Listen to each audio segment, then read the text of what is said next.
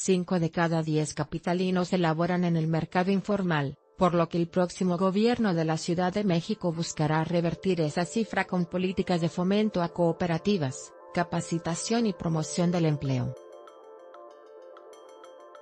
Así lo destacó ayer la futura titular de la Secretaría del Trabajo y Fomento al Empleo, Estife, Soledad Aragón, al ser presentada en el cargo por la jefa de gobierno electa, Claudia Sheinbaum.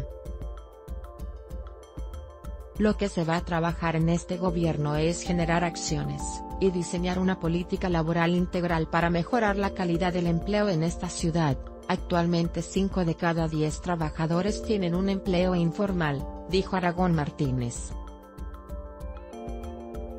Detalló que entre sus líneas de acción estarán la generación de cooperativas para desarrollar la economía social, atención a grupos vulnerables dentro del mercado de trabajo, como mujeres embarazadas, jóvenes y adultos mayores.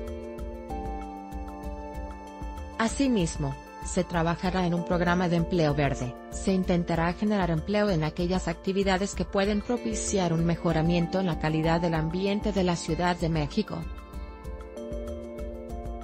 Por su parte, la jefa de gobierno electa señaló que de requerirse, y en coordinación con el gobierno federal se diseñará una política de atención laboral a la población migrante que pudiera arribar a la Ciudad de México.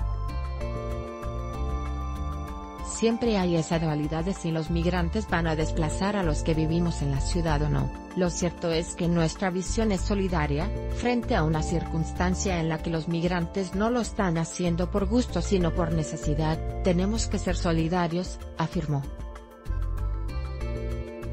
mayor capacitación por la mañana en su recorrido de agradecimiento por la alcaldía de Coajimalpa, Seinbaum adelantó que en su gobierno se utilizarán los espacios públicos para la capacitación de mujeres en oficios como panadería, estilismo, plomería, reparación de celulares y jardinería, a fin de formar pequeñas empresas que contarán con un capital semilla.